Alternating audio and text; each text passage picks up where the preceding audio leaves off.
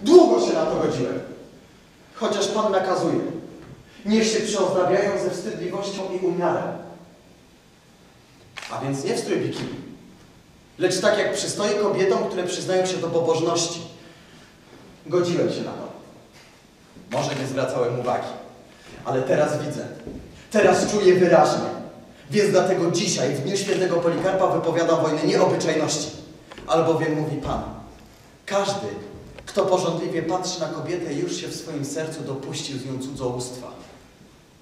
Więc dlatego, ponieważ to grzech, protestuję przeciwko bezwstydnemu zmieszaniu płci pod powierzchnią wody.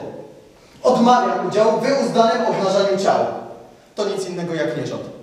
Albowiem mówi Pan, kto gardzi mną i nie przyjmuje słów moich, ten ma swego sędziego. Słowo, które powiedziałem, ono go będzie sądzić w dniu ostatecznym. Co to ma w ogóle znaczyć? Polikarp. Prowokacja, nic więcej. Ja też tak nie miałem, panie dyrektorze. Spóźnia się na lekcję, przepraszam, byłem u ginekologa. Trudno zachować powagę. Prowokacja chyba nikt nie wywołał pomoc. Potrzebujesz pomocy, mój chłopcze? On nie potrzebuje żadnej pomocy. Niech przeprosi. Po lekcji przepłynie dodatkowo kilka długości basenu. W spodenkach macie rozumieć. I sprawa załatwiona. Nic się przecież nikomu nie stało. Nie będę przepraszał. Jak to nie, oczywiście, że przeprosisz. Ja nie zrobiłem nic złego. To wy wszystko robicie źle, nie ja.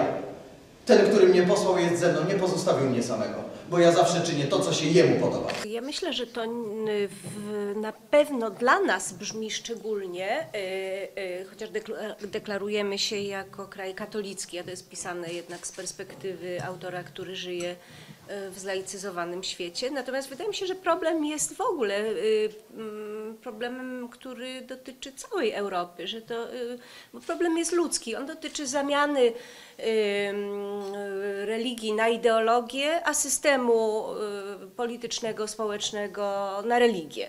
I z tej aberracji ludziom jest bardzo trudno wyjść. To, co wydaje mi się y, Majenburgowi się w sposób kapitalny udaje, to udaje mu się w pewien sposób skompromitować język y, tak zwanego dyskursu społecznego. Y, Czyli, czyli pokazuje bohaterów, którzy mówią językiem y, takim jak w mediach o sprawach, które są nieprawdopodobnie ważne, ponieważ w tle jest dramat religijny, to znaczy mm, co jest po śmierci, co jest po drugiej stronie, czy Bóg jest, czy go nie ma.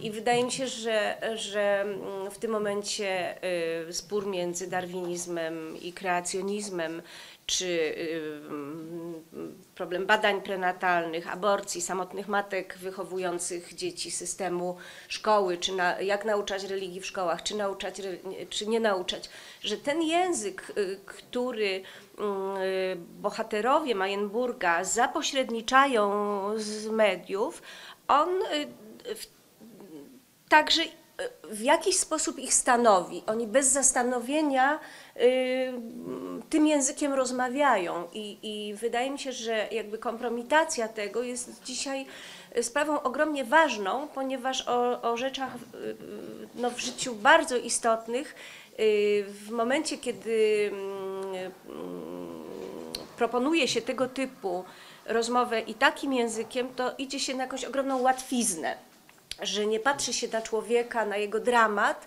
tylko właściwie na y, jego deklaracje. Kto jest za, kto jest przeciw. I z takich deklaracji budują się postawy y, takie utwardzone, zacietrzewione, postawy, y, które no, można określić dążącymi do, do fanatyzmu. Fryzurę. Zurę? No, włosy. Zrobiła coś pani z nimi? Nie, nie, Perfumy. nie, nie wydaje mi się. Makijaż. Czy coś się panu nie podoba? Nie wiem, co pani ze sobą zrobiła, ale śmiało, może pani to robić częściej.